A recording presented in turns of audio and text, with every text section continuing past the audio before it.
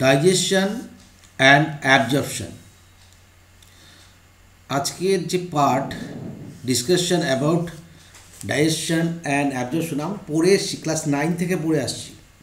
অতএব এখানে খুব বেশি আমাকেও যেমন কষ্ট করতে হবে না, তোমাদেরও কষ্ট করে বুঝতে হবে না। তবে নিট পরীক্ষা দেওয়ার জন্য যে কোশ্চেনগুলো আসা উচিত, যেখান থেকে সেই জায়গাগুলোকে আমি জোর দেব তোমরা সেই জায়গাগুলোকে বুঝে নেবে। দেখো ডাইজেশন করতে গেলে এবং অ্যাবজর্পশন করতে গেলে তার মানে ডাইজেস্টিভ সিস্টেম দরকার। ডাইজেস্টিভ সিস্টেম যেহেতু আমরা হিউম্যানের ফিজিওলজি পড়ছি, সেই জন্য আমাদের হিউম্যান হিউম্যানের ডাইজেস্টিভ সিস্টেম আমাদের পড়তে হবে। খুব ভালো কথা। এবং দেখো ডাইজেশন বলতে গেলে ডাইজেশন কি তাহলে ইয়েরা করে না? তোমার হচ্ছে তোমার এই পোটোজোয়ার অ্যানিম্যাল ট্যানিম্যাল এটা করে না, করে। তাদের কি হয় না, কোষের মধ্যে, হুম? তাহলে আসলে একটা ঘটনা কিন্তু digestion within cell outside the cell but within the body তাহলে digestion is a physiological aspect digestion একটা ফিজিওলজিক্যাল আসপেক্ট কিন্তু অ্যাবজর্পশন যখন হয়ে যাচ্ছে, তখন কিন্তু সেটা হয়ে যাচ্ছে কিসের মধ্যে ঢুকে যাচ্ছে? সেটা হচ্ছে মেটাবলিক মেটাবলিক প্রসেসের মধ্যে চলে যাচ্ছে। কোষের মধ্যে যখন ঘটনাটা হবে, যেমন রেসপিরেশন রেসপিরেশন কিন্তু one type of digestion food digest করা হয়, যে ফুডটা আমাদের অ্যালিমেন্টারি কানেল মানে কোষের বাইরে ফিজিওলজিক্যালি যেটা আমাদের ডাইজেশন করা সম্ভব নয়, সেটাই কিন্তু কোষে শোষিত হয় এবং সেটা কি একক ফুড সেটা হচ্ছে একক ফুড সিম্পলিফাই ফুড তখন সেটাকে আমরা কোষীয় পরিপাক না বলে সেটাকে রেসপিরেশনের আওতায় নিয়ে যাই। তো রেসপিরেশনের যেমন এনজাইম লাগে, আসল আসল ব্যাপারটা হচ্ছে কি কমপ্লেক্স ফুড থেকে আমাদের এনার্জিটা বার করতে হবে, সেই এনার্জিটাকে আমরা আমাদের বিভিন্ন কাজে লাগাবো। প্রতিটা অর্গানিজমই তাই করে। এই এনার্জিটা প্রোডাকশন কে করে? না সানলাইট মেনলি সূর্য হচ্ছে আসল উৎস। সেই একমাত্র ফোটনকে অ্যাবজর্ব করতে পারে ফ্রম সানলাইট থেকে। তো এছাড়া আর কারোর তো এই ক্ষমতা নেই। সেই জন্য সৌরশক্তি, সেই শক্তিটাকে আমরা খাদ্যের মাধ্যমে পাই উদ্ভিদের কাছ থেকে। উদ্ভিদের কাছ থেকে বিভিন্ন প্রাণী পায়, সেই সব প্রাণীর থেকেও আমরা পাই। এটা আমাদের জানা। অতএব এত ডিটেলসে না বলে এটুকু বলতে পারি যে ডাইজেশনকে আমরা আমরা যে কোনো খাদ্যকে দুবার ডাইজেস্ট করি। একটা হচ্ছে কি within the body but outside the cell that is physiological aspect nutrition বা পুষ্টি, পুষ্টির হচ্ছে পাঁচটা পর্যায়ে আমরা জানি কি, খাদ্য গ্রহণ, কাদের ক্ষেত্রে, যারা হচ্ছে পুষ্টির দিক দিয়ে দু রকম একটা হচ্ছে হলোফাইটিক একটা হচ্ছে হলোজয়িক হলোফাইটিক হচ্ছে কি? দুটো পর্যায়ে থাকে। ঠিক আছে? আর হচ্ছে এদের food synthesis and assimilation holophytic মানে প্ল্যান্টের ক্ষেত্রে। সিনথেসিস করবে এবং অ্যাসিমেট করবে। আর আমাদের পাঁচটা পর্যায়। খাদ্য গ্রহণ কী খাদ্য আসবে আমরা জানি না। তাহলে ফার্স্ট অফ অল আমাদের ফুড টেক করতে হবে। ফুড একটা আসলো, সেটাকে গ্রহণ করা হলো এক নম্বর। তারপর দু নম্বর কি? সেটাকে আমরা গীত খাদ্য পরিপাক করলাম। তারপর কি? মানে যে এই এই পরিপাকটা করছি, তার মানে একটা একটা নির্দিষ্ট কারখানা রয়েছে মানে একটা কারখানা। এখান থেকে ফুড সাপ্লাই হচ্ছে, এখান থেকে প্রোডাকশান করে বেরিয়ে যাবে। কোথায়? না, বিভিন্ন বডিতে আর আউট প্রোডাক্ট কি? যেটা ডাইজেস্ট হলো না। তাহলে প্রথমে খাদ্য গ্রহণ গীতখাদ্যের পরিপাক পরিপাক্ত খাদ্যের শোষণ, শোষিত খাদ্যের আত্মীকরণ এবং অপাচ্য অংশের বহিষ্করণ। এটা হচ্ছে কি? হলজিক। ঠিক আছে? তো আমরা নিটের মধ্যে ঢুকবো। পরপর আমরা বুঝে যাব। Major components of R food food is one of the basic requirement of all living organism বোঝানোর কিছু দরকার নেই, সবাই বুঝতে পারছ। আর কি হচ্ছে? ফুডটা হচ্ছে carbohydrate protein fats mainly major food components কি? কার্বোহাইড্রেট প্রোটিন এবং ফ্যাট ভালো করে বুঝে নাও। কার্বোহাইড্রেট প্রোটিন এবং ফ্যাট। গুড। আর এর সঙ্গে থাকে হচ্ছে কি ওয়াটার ভিটামিনস এবং খনিজ লবণ বা মিনারেলস এই যে তিনটে অংশ, খাদ্যেরই অংশ, এই তিনটেকে আমাদের ডাইজেশন করার প্রয়োজন হয় না, এটা সরাসরি অ্যাবজর্ব হয়। সেই জন্য মেইন কম্পোনেন্টস অফ ফুড বলা হলো carbohydrate protein fats vitamins and minerals are also required in small quantities food provides energy ঠিক আছে? Organic materials for growth and their repair of tissue next water play important role in metabolic process কারণ হচ্ছে hydrolysis করার জন্য বিশেষভাবে water দরকার হয়। Water ছাড়া এগুলো করা সম্ভব নয়। প্রিভেন্ট ডিহাইড্রেশন ডিহাইড্রেশন কোথাও অর্থ বোঝো অর্থাৎ গেল এটুকু। বায়ো ম্যাক্রোমলিকুল কেন বায়ো ম্যাক্রোমলিকুল বলল? বায়ো কথাটার অর্থ বুঝি ম্যাক্রো মানে ওই সেই হাজার ডালটার উপরে। তার মানে প্রোটিন হবে তার মধ্যে, কার্বোহাইড্রেট হবে, ফ্যাট হবে। কখনোই অ্যামাইনো অ্যাসিড হবে না, কখনোই গ্লুকোজ হবে না হ্যাঁ? সেগুলো হবে না। সেগুলো হচ্ছে bio macromolecule in food can not be utilise আমরা কখনোই একখণ্ড ডিম, একটা আপেল, একটা এক টুকরো তোমার কী বলে, মাখন, আমরা কিন্তু শক্তি হিসাবে পাই না অরিজিনাল ফর্ম হিসাবে আমরা নিতে পারি না দেহ। দেহ মানে দেহ কিন্তু, দেহ কোষ কিন্তু সেটা চিনবে না। সেটা হচ্ছে biomacromolecules in food can not be utilise by your body in their original form they have to be broken ভাঙতে হবে এবং কনভার্ট করতে হবে সিম্পল তাহলে এই যে ভাঙছি, তাহলে এটা কি করছি? ভেঙে সিম্পলে তৈরি করেছি। তাহলে কি হবে? আমরা দেখো, শক্তি বার বেরোবে, কিন্তু কমপ্লেক্স ফুড থেকে সিম্পল ফুডে যাওয়ার অর্থই হচ্ছে ক্যাটাবলিক তো যাই হোক, এটা যেহেতু কোষের বাইরে হচ্ছে, সেই জন্য আমরা ক্যাটাবলিক অ্যানানোলিকের পর্যায়ে আনছি না। ক্লিয়ার তাহলে ডাইজেস্টিভ সিস্টেমে কিন্তু আমাদের সিম্পল ফর্মে আনতে হবে। ডাইজেস্টিভ সিস্টেম ডাইজেশন কী বলছে? The process of conversion of complex food substances to simple absorbable form শুধু ক্ষুদ্র করলে হবে যেটাকে অ্যাবজর্ব করতে হবে, সেটাই তৈরি করতে হবে। অ্যামাইনো অ্যাসিড প্রোটিনের ক্ষেত্রে glucose galactose fructose mannose ribose শত যত মনোস্যাকারাইড হচ্ছে তোমার, ইয়ের ক্ষেত্রে কার্বোহাইড্রেট ক্ষেত্রে, fatty acid, glycerol, only for লাই ফ্যাটের ক্ষেত্রে এইরকম যখন আমরা absorbable simple absorbable food substances আমরা তৈরি করব, কোথায় না alimentary canal outside the cell, ভালো করে বোঝো। কারণ এরপরে রেসপিরেশনে যাব যখন, তখন যেন ক্লিয়ার কাট আইডিয়া হয়ে যায়।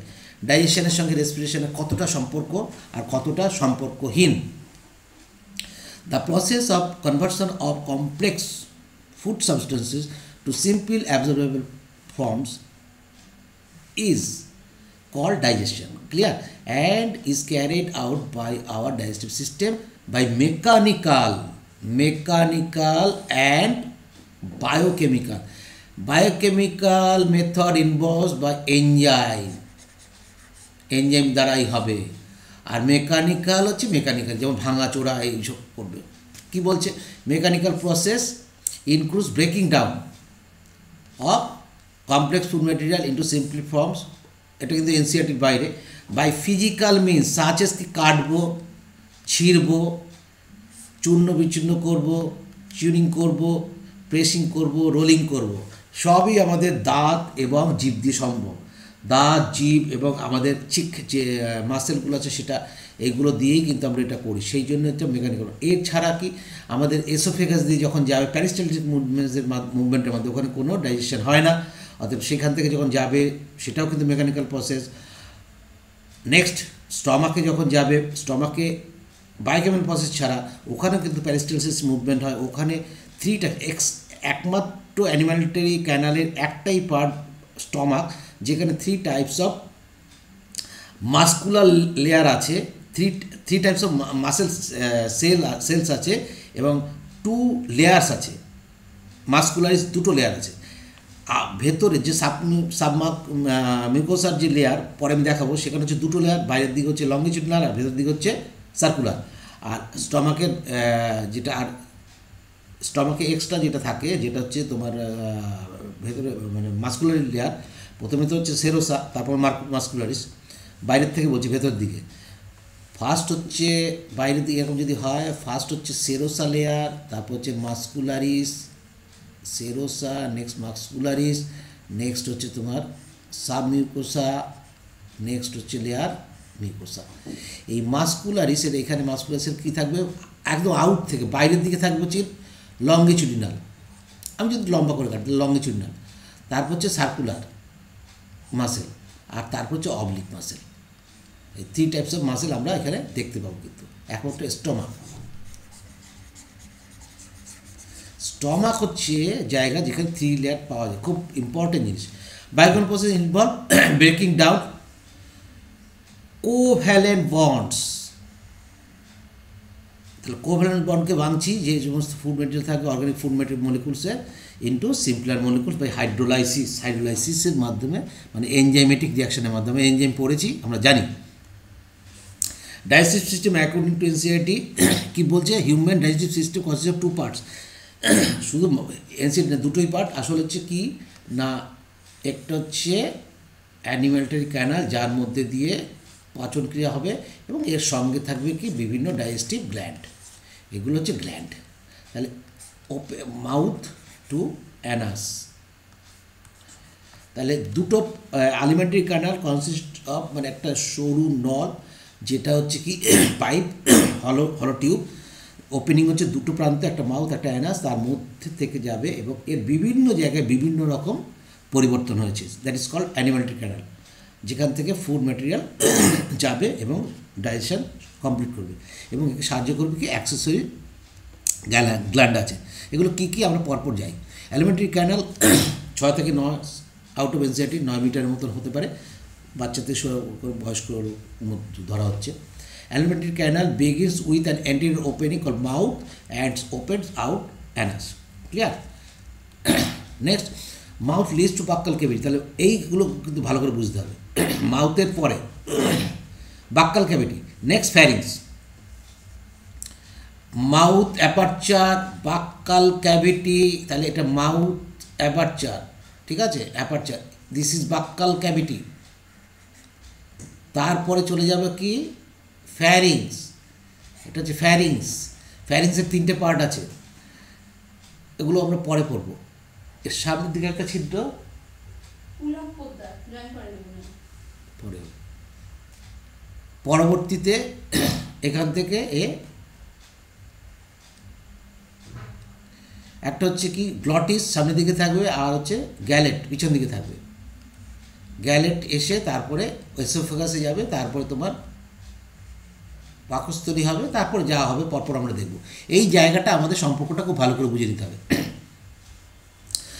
এবং ফ্যারিংসের মানে বেসমেন্টে দুটো ছিদ্র থাকে। সামনের দিকে থাকবে হচ্ছে গ্লটিস শ্বাসছিদ্র আর শ্বাসছিদ্র পরে থাকে ট্র্যাকিয়া আর নেক্সট হচ্ছে তোমার যে ছিদ্রটা থাকে তাকে বলছি আমরা gullet mouth leads to buccal cavity or oral cavity, ঠিক আছে? এখানে কি বলছে? Lined by stratified squamous epithelium secreting mucus. Mucus secrete করে মাউথ, যার জন্য লালার মতো আমাদের থাকে। Oral cavity has a number of teeth, ঠিক? Develop from specialise cell, odontoblast. এটা মনে রেখো, আউট অফ এনসিআরটি হ্যাঁ? ওডন্টোব্লাস্ট থেকে specialise cell and muscular term it helps কী করে? কিসে কাজ করে? কি কি করে? সেটা বলছি। ইট হেল্পস ইনজেকশন খাদ্য গ্রহণ করতে চিউইং সোয়ালোয়িং গলাধকরণ করা food materials and also bears taste bud থাকে এবং four types of taste bud থাকে শাওয়ার সল্ট বিটার সুইট এবং indigest food material in the indigested food material থেকে আমরা আমরা যেগুলো করব ডাইজেস্ট করব, সেই টেস্ট বুঝে আমরা টেস্ট নিতে পারি এবং তার জন্য সেইভাবে লালাক্ষরণও হয়। এগুলো সব হচ্ছে হরমোনাল অ্যান্ড নিউরাল এফেক্ট এগুলো আমরা শেষের চ্যাপ্টারগুলোতে পড়ব। Each tooth embedded in a socket একটা দাঁত সকেটের মধ্যে প্রবেশ করানো আছে। ঠিক আছে? সকেটের মধ্যে প্রবেশ করানো আছে। এই সকেটের মধ্যে যদি প্রবেশ করা থাকে তাকে ঠেকোদণ্ড বলে। এবং এছাড়াও যে বিভিন্ন ধরনের ধরনের প্লিউরোডন্ট আছে, সেগুলো আমরা ক্লাসিফিকেশনে দেখব। এখানে আর পড়ছি না। Type of attachment are call এই টাইপের অ্যাটাচমেন্টকে বলব হচ্ছে কি? থেকোডন থেকোডন্টের অ্যাটাচমেন্ট কোটরে থাকে, দাঁত দাঁত তো কোটরে থাকে হিউম্যানের ক্ষেত্রে। Majority of mammals including human beings two sets of teeth দুটো সেট থাকে দুদিন লাইফ সাইকেল তাদের লাইফে দুরকম একটা টেম্পোরারি বা deciduous very important deciduous teeth temporary milk ঠিক আছে? বা milk teeth temporary milk teeth deciduous teeth যেটা রিপ্লেসড হয় পারমানেন্ট টিথ দিয়ে অ্যাডাল্টের ক্ষেত্রে। অ্যাডাল্টের সময় permanent teeth the. Type of dentition তাহলে এই যে দু রকমের যে একটা হচ্ছে milk teeth replaced by permanent teeth এটাকে বলছি আমরা ডাইফিওডন দুবার দাঁত ওঠে, সেই জন্য ডাইফিওডন এনসিআরটিতে কী বলা হচ্ছে সিক্সটিন টিথ ইন ইজ জ ঠিক আছে? তাহলে এই জয়ের একটা পা, এই একটা আপার জ এই লোয়ার জ তাহলে এই একটা সাইড আমরা হিসাব করি, ঠিক আছে? এইখানে থাকে কি তিনটে মোলার তিনটে মোলার তারপরে দুটো প্রিমোলার দুটো প্রিমোলারের পরে থাকবে হচ্ছে একটা ক্যানাইন আর থাকবে হচ্ছে দুটো ইনসিজার এই। এই হচ্ছে একটা সাইড আটটা, তাহলে এদিকে আটটা, ষোলো, চার, চারটা বত্রিশ। সেটা বলা হচ্ছে incisor two by two clear না বুঝতে পারলে বলবে scissor canine one by one premolar two by two molar three by three by three তাহলে এই হলো। ডেন্টাল ফর্মুলা মিল্ক টিথের ক্ষেত্রে কী থাকে না? ভেরি ভেরি ইম্পর্টেন্ট প্রিমোলার থাকে না। প্রিমোলার ওইখানে মাইনাস হয়ে গেলো, আর প্রিমোলার আর মোলারের লাস্ট যে উইজডম টিটটা লাস্ট যে টিটটা সেটা থাকে না। সেই জন্য এই দাঁতগুলো কিন্তু একবারই ওঠে। দেখো মনোফিওডন্ট ডাইফিওডন্ট যদিও হয়, তাহলে প্রিমোলার কিন্তু একবার একবার ওঠে। এরা কিন্তু দুধে দাঁত হয় না প্রিমোলার প্রিমোলার মনোফিওডন আর মোলারের থার্ড থার্ড যেটা সেটা হচ্ছে মনোফিওডন ঠিক আছে? তাহলে এটা মনে তো কুড়ি আর বত্রিশ।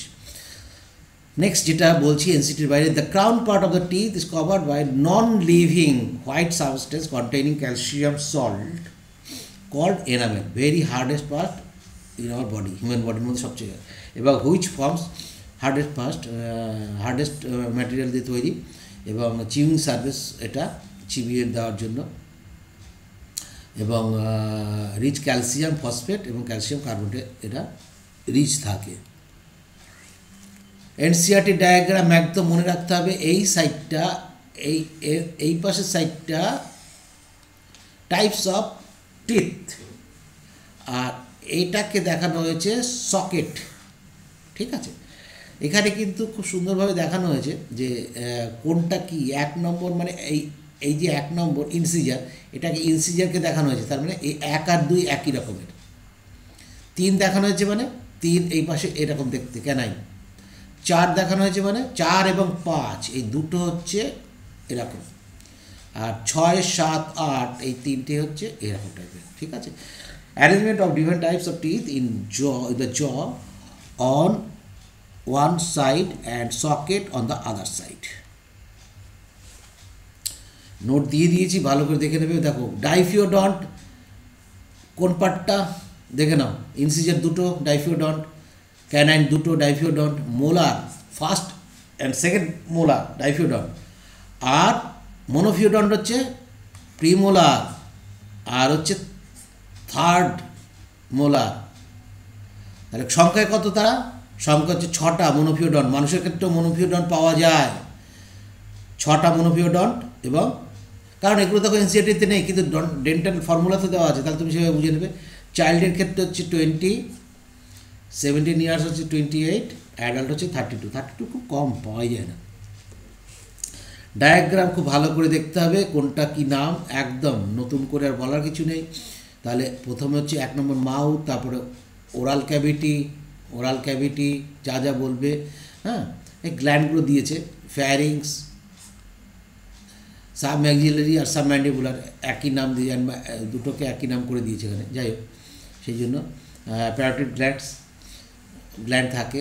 নেক্সট হচ্ছে এসোফেগাস দেখো এসোফেগাস দিস ইজ এসোফেগাস তারপরে স্টমাক তারপরে ইন্টেস্টাইনে আসছে ফার্স্ট ডিউডেনাম তারপর হচ্ছে জেজুনাম নেক্সট হচ্ছে ইলিয়াম তারপর কোলনে ডাকছে ইলিও সিকাম ভালোর মাধ্যমে ঢুকছে।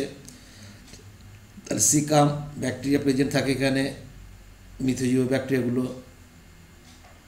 Ascending colon, transverse colon, descending colon sigmoid কোলনটা এখানে লেখা নেই, যাই হোক, রেকটাম অ্যানাস, ভার্মিফম অ্যাডভেটিক্স। এই যে পার্টগুলো দেওয়া আছে প্রত্যেকটাকে কিন্তু যে কোনো জায়গাতে লেবেলিং করতে পারে। এক্সট্রা আমি যেটা দিয়েছি সেটা হচ্ছে এখানে বলব স্যালিভারি গ্ল্যান্ড স্যালিভারি গ্ল্যান্ড কি? Parotid parotid gland sublingual gland parotid gland sublingual gland submandibular gland ঠিক আছে? সাবলিঙ্গুয়াল মানে জীবের নিচে থাকবে আর সাবম্যান্ডিবুলার বা ম্যাক্সিলারি বলে, এটা হচ্ছে ম্যান্ডিবলের নিচে থাকে। গ্ল্যান্ড স্যালিভারি গ্ল্যান্ড স্যালিভারি অ্যানাইল, অ্যামাইলেজ মানে টায়ালিন সিক্রেশন করে। আর হচ্ছে স্টমাকে, প্যানক্রিয়াস, এগুলো হচ্ছে গ্ল্যান্ড, গ্ল্যান্ডের মধ্যেও পড়ে কিন্তু স্টমাকেও গ্ল্যান্ড আছে, প্যানক্রিয়াসেও গ্ল্যান্ড আছে। নেক্সট হচ্ছে লার্জ ইনস্টাইনের ভাগগুলো দেখানো হচ্ছে। প্রত্যেকটা কিন্তু দেখে নেবে। লিভার হচ্ছে সবচেয়ে বড় আমাদের দেহের মধ্যে। হ্যাঁ